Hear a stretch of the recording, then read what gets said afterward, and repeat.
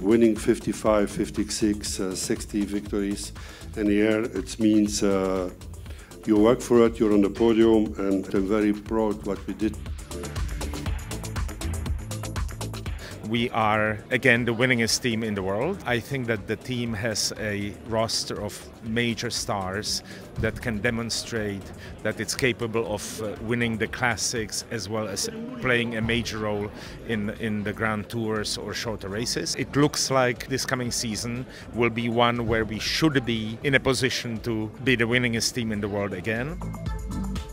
After five years as the co-sponsor, we're back the main sponsor. So yeah, some flashbacks, some good memories, and we hope they will come back this year. I hope they will have more victories than last year and hopefully with uh, different uh, riders coming from different countries like that we can use this visibility in all our little countries all over Europe.